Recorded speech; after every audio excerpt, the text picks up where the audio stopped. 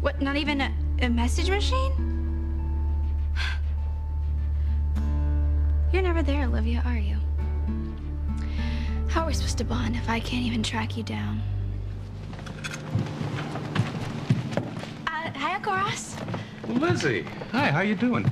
It's getting a little uh, dark for you to be out here alone, isn't it? Oh, don't you recognize that car over there? Bruno waits for me while I run. Oh. Besides, there's still lots of people out here. So, how's Blake? I haven't seen her in a long time. Oh, she's fine, thank you. She's uh, amazingly busy. You know, I, I saw your father not too long ago, and he seemed a little better. You know, I was thinking the same thing, but my mom just keeps telling me to be patient and not to get my hopes up, so. Well, Lizzie, never forget, hope is a good thing. So, are you excited about this election? Actually, yes, I am. Very. Well, I happen to know that my mom and Aunt Alex are going to be voting for you. Oh, good. I'm not too sure about Grandpa, but. Can I have one? Uh, absolutely not. You have to take two. Oh, There you go. Hey. Well, hello, friend. How are you? Hi, Lizzie. Oh, hi, Dr. Been a Bauer. long time. Do you have one of these? No, I don't.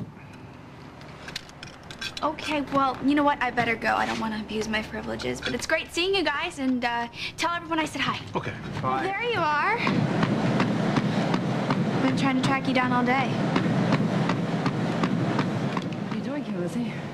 Oh, I thought we'd be able to work out together. I called the beacon, and they said you might be here.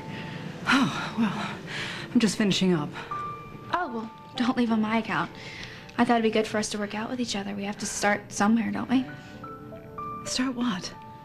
Forging a new relationship? Face it, we're stuck with each other now. You married my dad, and we both want to make him happy, right? So, we're gonna have to start over.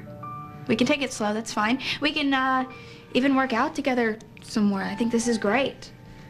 Or I can even go over to your place if you want Wait, to hang out no, with no, you no, and Sam. no, no. Let me be perfectly clear. You, you got, got to stay out of my private life, okay? Just stay away from my brother. Stay away from my house. I have to go. Um, if you're going to Ravenwood, then...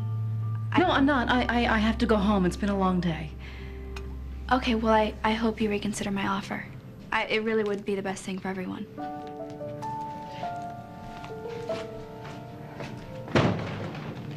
What's up with you, Olivia?